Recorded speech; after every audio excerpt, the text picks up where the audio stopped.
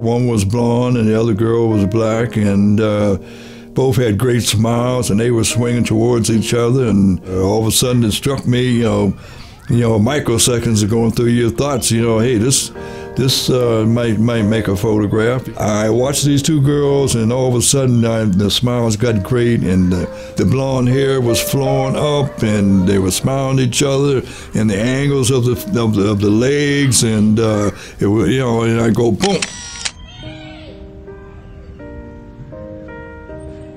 I go back to the post, make the print, turn it in, and uh, the next day I come to work and uh, walk in the photo department. On the desk is the uh, top half half of the uh, City Life front page, and in big bold red is is is uh, marker is just beautiful.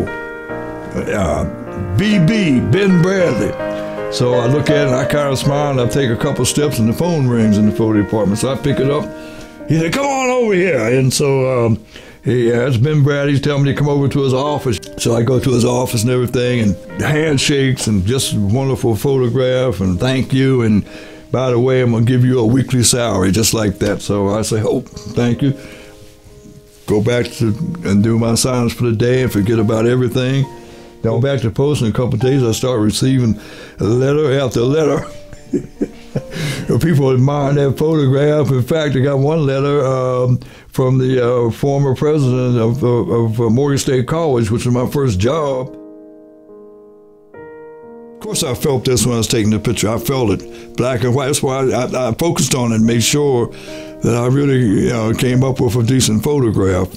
And uh, just brings back so many memories of uh, Kings I Have a Dream speech and, uh, and, and the people and uh, people are photographed with their hands in prayer and listening to his speech with, with all the, faith and hope in their eyes and in their expression.